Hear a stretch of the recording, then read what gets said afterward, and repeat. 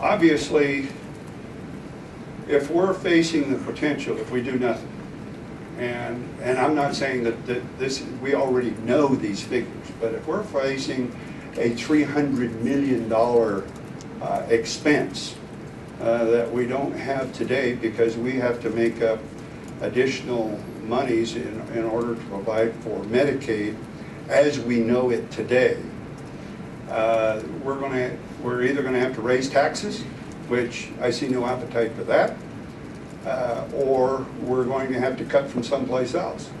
And uh, we've already, I think, uh, made some budget reductions. Uh, We've leaned out the agencies. Is there more to be done? We're always looking for more efficiencies, for more consolidation, more, more co-locations. And and wherever we can save money, we're going to do just that. But um, I think anytime you're looking at a potential $300 million hit, that's got to be a pretty high priority.